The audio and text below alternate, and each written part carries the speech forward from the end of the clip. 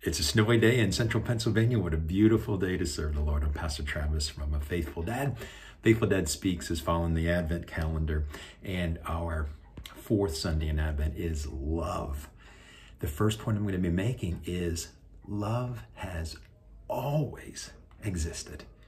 What do I mean by that? Join me this coming Sunday, December 20th to find out. God bless. Enjoy the snow.